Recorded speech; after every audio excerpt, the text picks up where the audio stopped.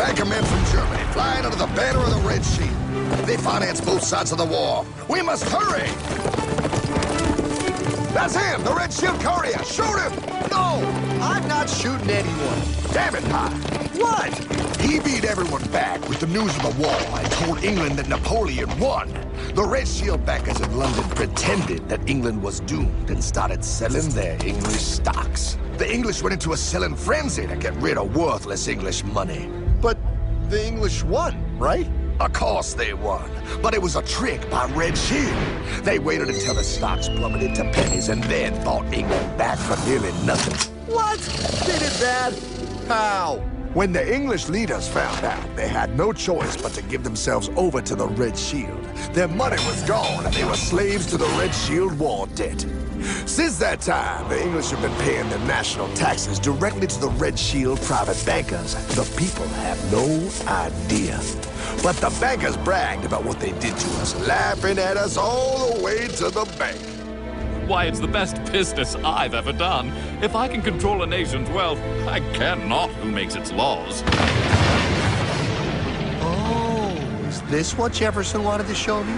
No, Look.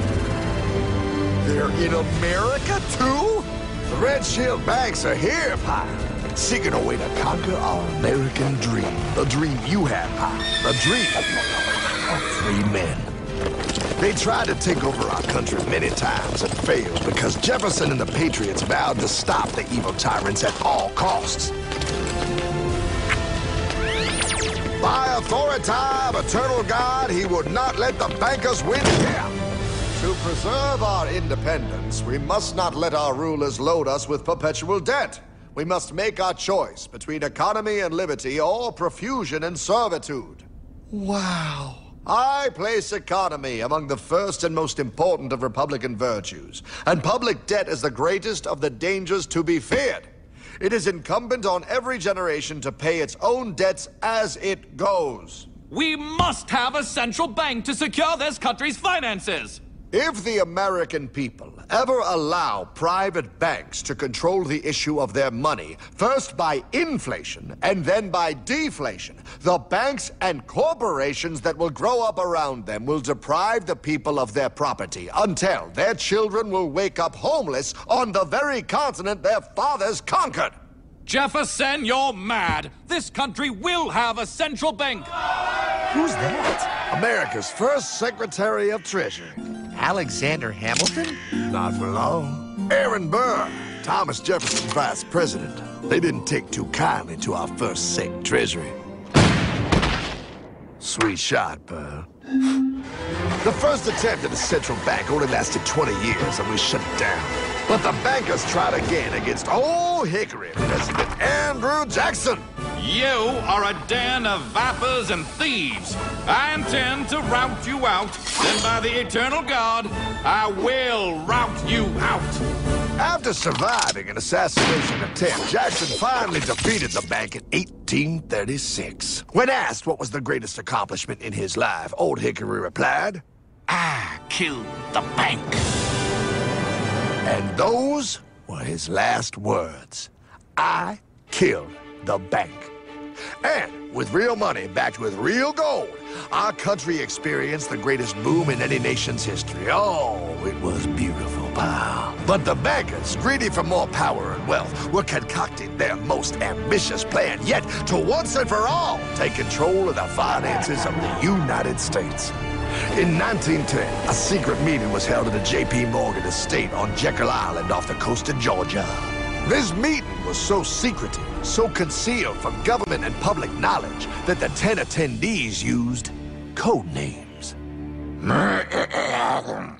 I am clearly the richest man, so I should be the one to run the super secret central bank. I own all the oil in America. I'm clearly richer than you will ever be, hula girl. I should run the super secret central bank. You're nothing compared to me, lube job. I shall run the secret bank. Silence! Supreme Master Leader, I didn't know you were gonna be here. I'm not. Neither are you, dumbass. Oh, yeah, right, right. He's so smart. None of you shall run the bank. We have failed in the past because of openness. This time, the key to success is secrecy. The people must believe that they run the bank. Yes, brilliant! A sneak attack. What's the plan? We first create panic, then we show them the solution. With our man in office and well-planned timing, we will have our central bank. And so the people think it is theirs. We shall christen it Federal. The Federal Reserve.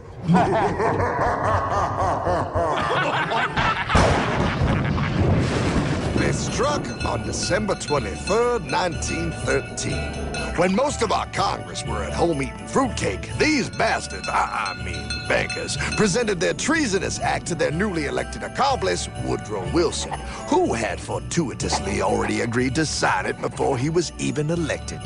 Wait, the IRS? I thought we always had the IRS. No, Pyle.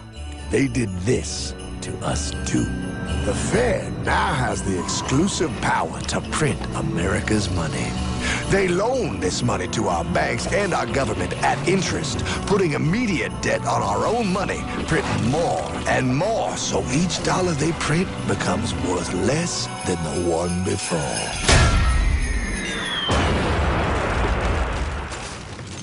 Merry Christmas. What in the hell is that? Is how our government now must pay back these debts to the Fed. Your taxes did not go to your government. They don't? Hmm. It's the greatest theft in human history. But, oh, okay, I mean, I sort of get what you're saying, but it's also confusing. And really, Hartman, I don't see how it affects me at all. If I had more money, none of this would have happened. Hartman?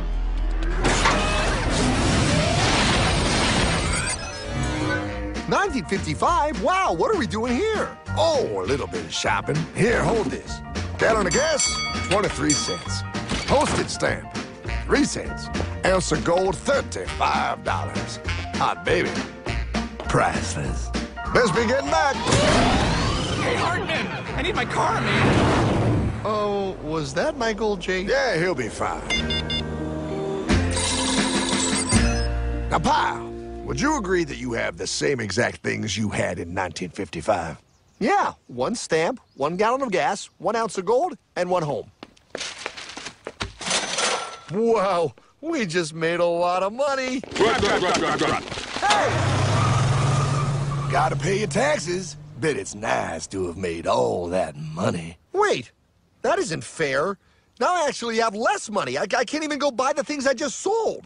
The IRS and the Fed's inflation work together, Pyle. They aren't just taxing gain, they are taxing their inflation. You are no richer than you were in 1955. Now, does that sound fair or American to you?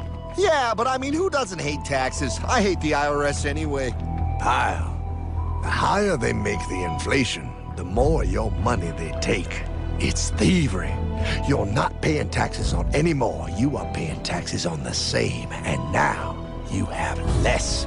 They take our property away right in front of our eyes, just like Thomas Jefferson said they would. What's that? Oh, they found us! Quick, my sword! What sword? We don't need your banking machine! I'll condemn you to die, damn it! Die! Pyle! The Yankee bogey on my nine! Take him at his knees!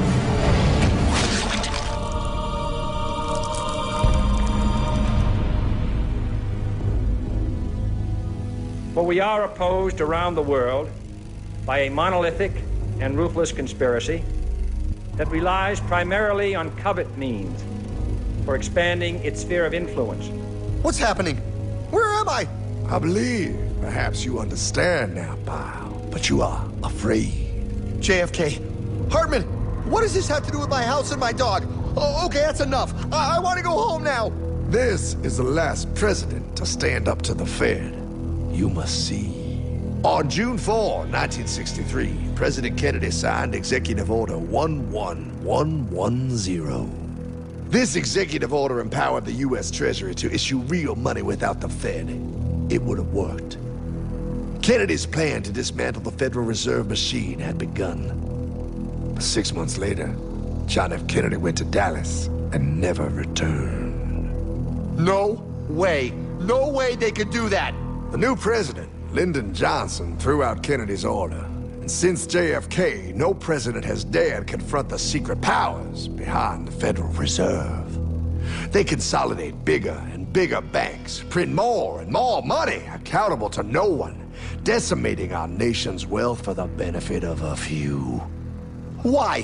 Why do this? If they hurt us, it hurts the global bankers too. No, Pyle. They are protected. They are too big to fail. But I'm not. Those sons of bitches! Hmm. Sons of bitches all.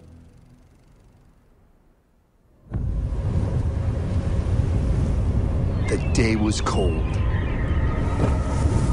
The wind sharp and strong. But we were determined. The bankers and their parasites had us vastly outnumbered, but their hubris made them weak. Not like us. Not like this band of immortals we have assembled. We have come to take back our... Hartman? Is that... My dog. Oh, sh... Then the inevitable. The Money Kings could ignore us no longer. They sent an emissary, a cog in their machine of greed to bring about our submission. Hank Paulson. Hartman, this is blasphemy. We own the corners of the earth. It is futile to challenge us. Oh, I've seen that look before. That of a predator taking in the scent of its prey. Bold, fearless, the look of a free man. You have come far, Hartman. Farther than most. Be smart now. Join us. We will bring you money, power, everything you want. You can be one of us. If you will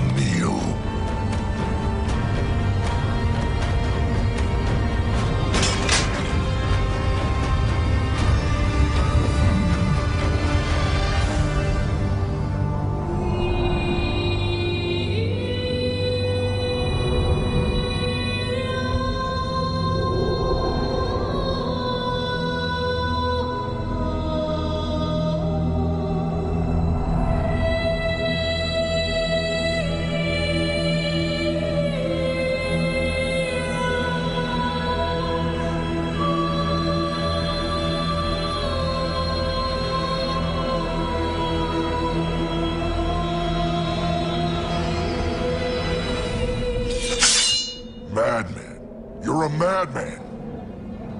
We're offering you everything. What do you think this is?